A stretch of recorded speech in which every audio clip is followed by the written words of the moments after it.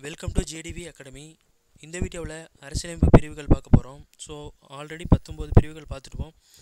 So இந்த வீடியோவில் அடுத்த பிரிவுகள் பார்க்கலாம். பிரிவு இருபது.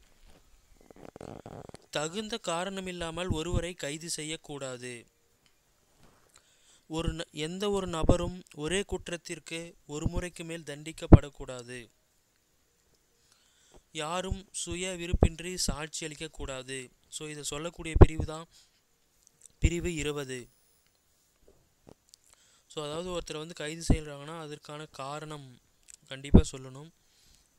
தகுந்த காரணம் இல்லாமல் ஒருவரை கைது செய்யக்கூடாது. பிரிவு இருபது.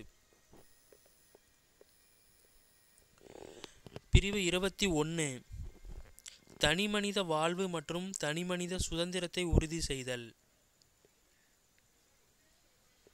ஸோ தனது சுதந்திரத்தினை மற்றவர்களின் சுதந்திரம் பாதிக்கப்படாத வகையில் அனுபவிக்க வேண்டும்.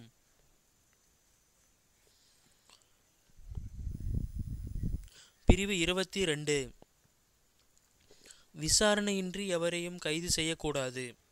ஸோ பிரிவு இருபது வந்து காரணமின்றி கைது செய்யக்கூடாது. பிரிவு இருபத்தி ரெண்டு விசாரணையின்றி எவரும் கைது செய்யக்கூடாது. ஸோ விசாரணையின்றி கைது செய்யும் போது பாதுகாப்பு அளிப்பதோடு கைது செய்வதற்கான காரணத்தையும் சொல்ல வேண்டும். கிரிமினல் வழக்குகளில் கைது செய்யப்பட்ட இருபத்தி நாலு மணி நேரத்திற்குள் நீதிபதி முன் ஆஜர்படுத்த வேண்டும். ஸோ இதை சொல்லக்கூடிய பிரிவு பிரிவு இருபத்தி ரெண்டு பிரிவு இருபத்தி மூணு. சுரண்டலுக்கு எதிரான உரிமை. ஸோ ஒருவரை கட்டாயமாகவோ அல்லது ஊதியமின்றியோ வேலை செய்ய வைக்கக்கூடாது. ஸோ இதில் தான் இந்த கொத்தடிமை முறை. ஸோ அதுமாரி கட்டாயமாக ஒருத்தர் வந்து வேலை செய்கிறதோ இல்லை சம்பளமே கொடுக்காம வேலை வாங்குறதோ அதெல்லாம் இருக்கக்கூடாது. அதுதான் இந்த சுரண்டலுக்கு எதிரான உரிமை. பிரிவு இருபத்தி நாலு.